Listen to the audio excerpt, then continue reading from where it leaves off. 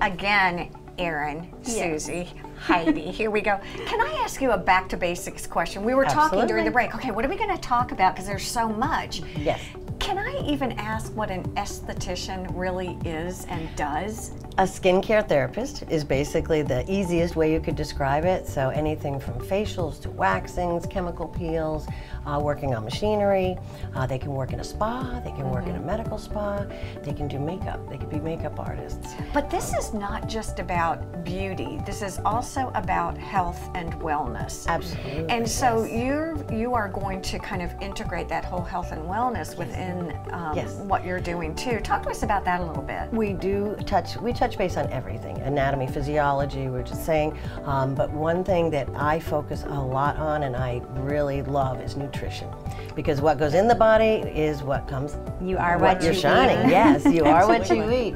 And so what goes on your skin mm -hmm. penetrates within uh, 26 seconds goes right to your bloodstream. So your Gosh. ingredients have to be good. They can't be caustic or toxic or carcinogenic. Okay. Um, so Vitamin your, rich. Yes. Yes. and our antioxidants are huge. We're in the sun, mm -hmm. so the antioxidants, vitamin A, C, E, mm -hmm. are wonderful for your skin. So what I hear for both of you is you're as much into education as you are anything. they're going to have speakers Definitely. come in. Well, see, that's yes. so cool. And you yes. talked a little bit about a 501c3 uh, not-for-profit that you're doing yes. also. Yes, I'm excited about that one.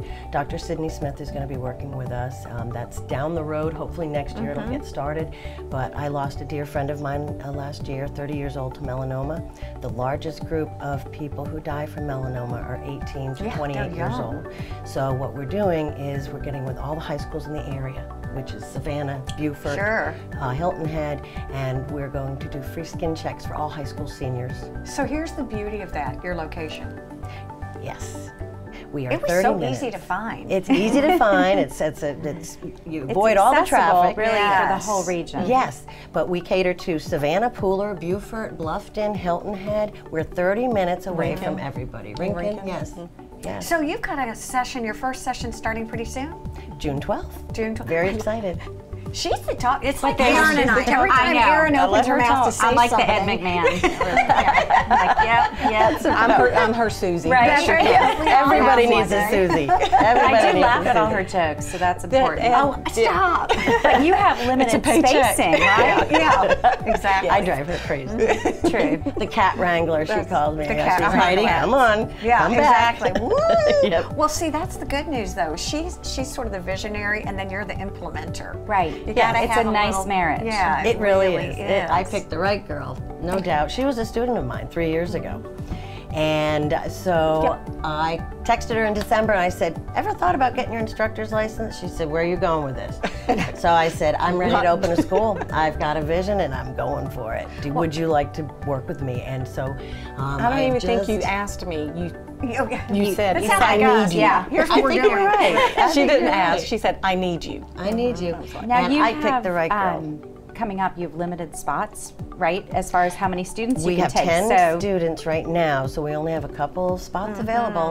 And we'll start another class within three months after this class, so okay. in September. From what I've heard, um, after doing a teeny little bit of research, there is a real void in the market, and estheticians are really, really needed. It is one of the fastest growing industries, yes. Uh, 25, it's grown 25% in the last 10 years. And especially in this demographic with all the service and That's you know right. we all want to be right. like we mm -hmm. said look and be the best we can be. Yeah. What are your goals and expectations for the next three months, six months, year? What are your hopes about this spa? I want every class to fill up. I really called it spa, but it's really the academy. It the is academy. the academy. The academy. Yes.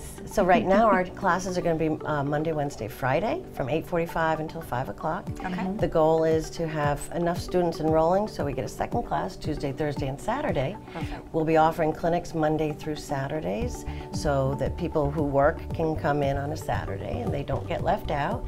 And my ultimate vision is to open a second, a third, and a fourth. And, fourth, and franchise. Well, once again, yes. it's a treat to have you there. To. It's Advanced Aesthetic Academy, and it's really worth coming to see. Thank you both. Thank Stay with you. us. There's a lot more to come here on Girl Talk.